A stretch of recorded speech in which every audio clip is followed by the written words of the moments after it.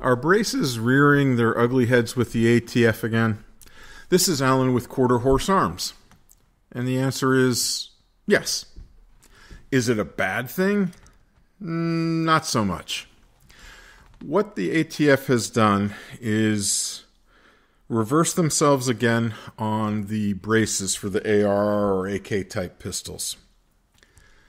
Are they closing a loophole? I'm sure they are. What they did was refer back to the origin of the brace where some manufacturer or gun dealer, or whoever, said, Hey, can I use this legally for people that have a physical disability and have trouble holding a heavy pistol?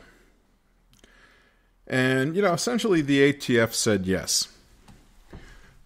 Now, what they wound up doing is making a determination that if it had some of these neat rubbery kind of things that look like they're wrapped around the forearm, but if you didn't use them on the forearm, kind of made a shoulder stock.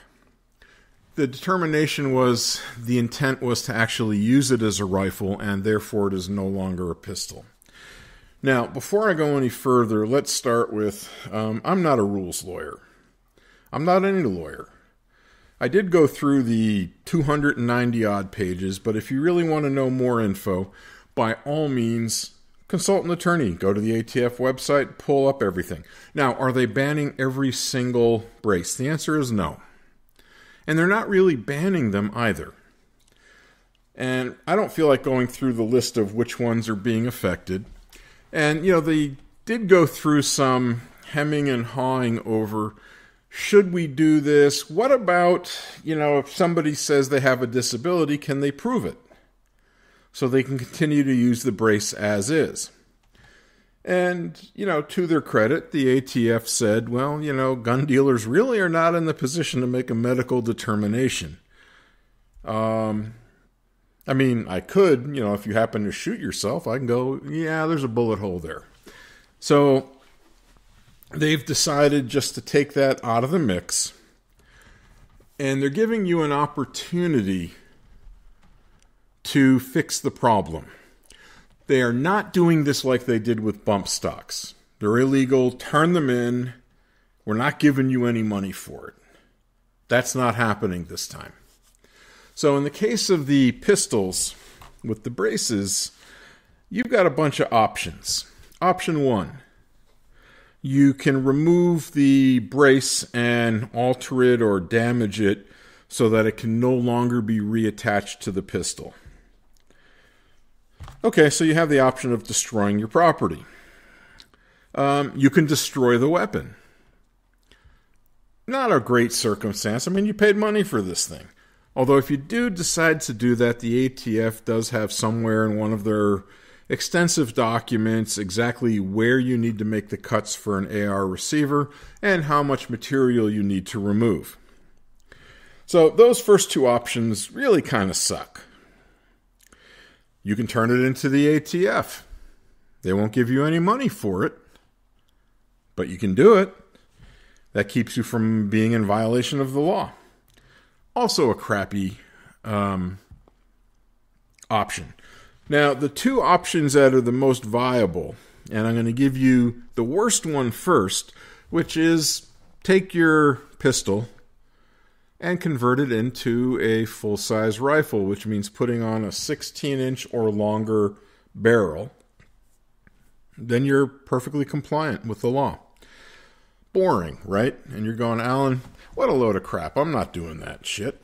And I agree with you.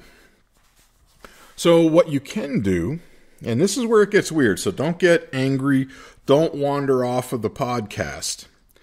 But what you can do is register the affected weapon as an SBR according to the National Firearms Act. And now you're going to go, Alan, that sucks too because I got to pay 200 bucks for these. And some of you may have several of these items in different calibers. So the answer is does it suck? Not really. For the first time that I can recall, the ATF is allowing you to register these pistols as SBRs free of charge. No $200 tax stamp involved. Really kind of cool. Um, for a number of reasons. Uh, one, you don't have to pay the $200 tax stamp. Right there, all by itself, it's an issue. You know, you've saved 200 bucks. And I know people that have three, four, and five of these things. You know, 300 blackout, 9 millimeter, 40 cal, 556, you know, whatever. So, what you do need to do is get photographs and fingerprints, just like you would if you were buying any other class 3 item. And, you know, for those of you that don't want the government knowing what you got, well, it's a compromise.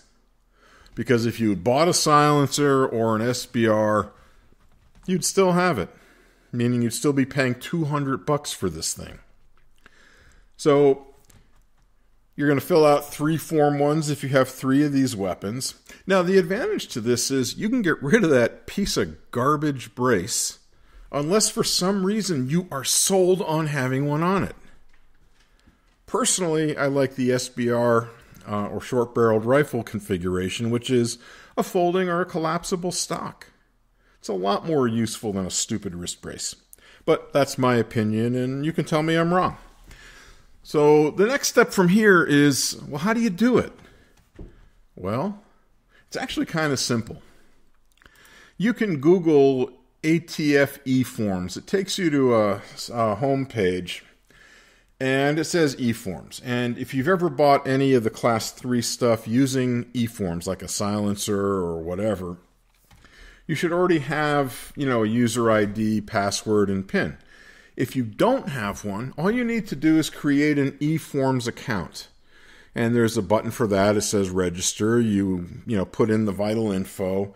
Um, I it's been a while since I've done this, but I think there's a check to make sure the email is working. Um, once you get done with that, right across the right side of the page is a red bar that says click here for ATF final rule 2021R-08F.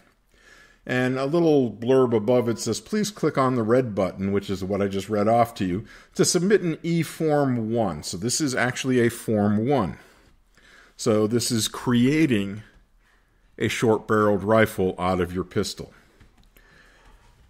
Then it's going to take you through a whole bunch of steps, and you know, the pages are a little clunky. It does take some time to load, so you just have to be patient. I mean, not a big deal. Even as a gun dealer, I get tired of seeing the spinning wheel while it says loading. Okay, now once you get there, you're going to have to do unique and exciting things like. Uh, fill out your name, address, phone number, whatever, um, the item in question, which is going to have to be, you know, you'll be the model number, manufacturer, and serial number. And what you're going to do is create this. So it's almost as if you're manufacturing it. So what the ATF is doing is instead of allowing people to like outright violate the law, they're actually giving you a chance to do something really kind of cool.